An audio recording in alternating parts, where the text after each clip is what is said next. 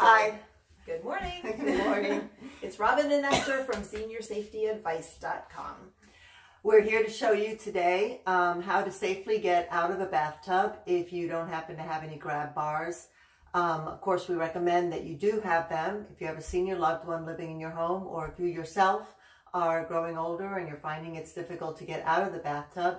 I suggest not to wait until you know, an emergency or something happens. Yeah, don't wait till you fall.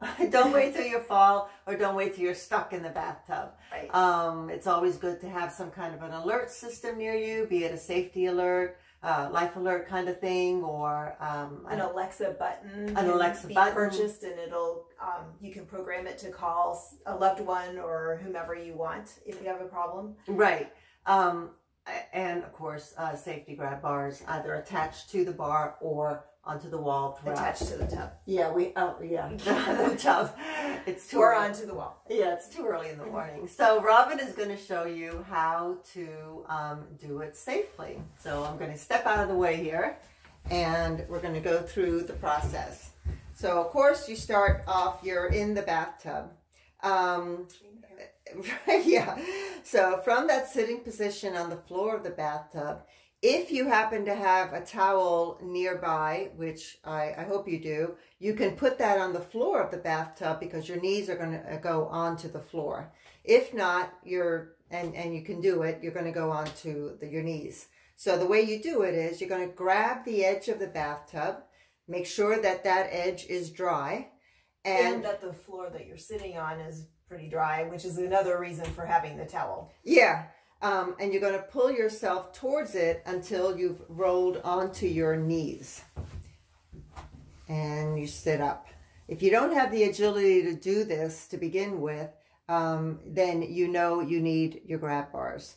Definitely. Oh, we should write an article on, you know, titled, you know you need your grab bars when. Okay. Put your hands flat on the on the um, bar there on the uh, edge of the bathtub. Okay. Um, Okay, and push yourself. Okay, you're on your knees.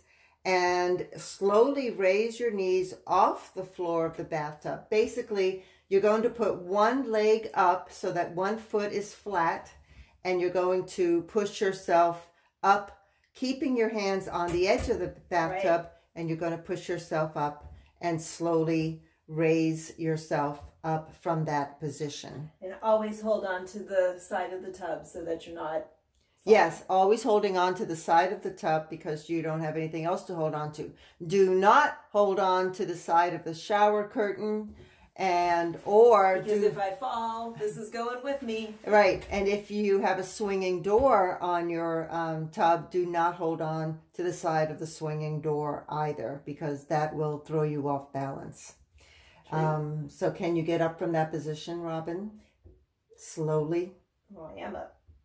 you mean over Taking, the side? Yeah, take over the side. Right. So sorry. you're gonna swing one leg over the side, and you're still holding onto the tub, and you're gonna hold all the, you know, just turn your hands around, and then the other foot, and then you can release. Yeah, very good. So that's our little demonstration on how to get out of the bathtub. So subscribe to our videos by clicking the little subscribe button and don't forget to check out our website at seniorsafetyadvice.com for more tips about aging safely in your home.